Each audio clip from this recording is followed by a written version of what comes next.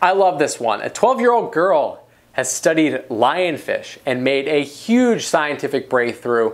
We love covering these stories on The Fowler Show. There are so many of them when young folks, especially really young kids, 12 years old, stuff like that, make scientific breakthroughs. I'm a big fan of this story. So 12-year-old Lauren Arrington has brought some positive attention to Florida, and Lord knows Florida needs it, with her discovery that the venomous predatory lionfish can in fact survive in bodies of water with low salt content. So this is an important discovery because lionfish are a predatory species that are quickly becoming an invasive species. That's right. So scientists originally believed that they could not survive under low salt content, so they wouldn't be as big of a threat in terms of them moving and migrating into different bodies of water. That is not the case now. She's being credited in the Environmental Biology of Fishes journal for her astounding discovery.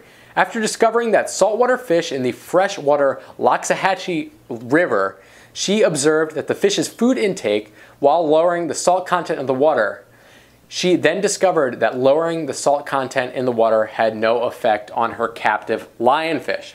So the reason that these lionfish are becoming such a problem is because they're threatening coral reefs in the ocean. And now thanks to Lauren, adult biologists are paying attention to these lionfish in freshwater bodies of water as well.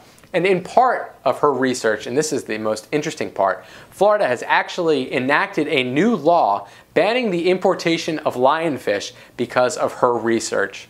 Pretty cool stuff. Big shout out to Lauren Arrington. Hopefully she's going to go on to do big things with marine biology and she is off to a good start after having her work credited in a scientific journal at the tender age of 12 years old. Big shout out there.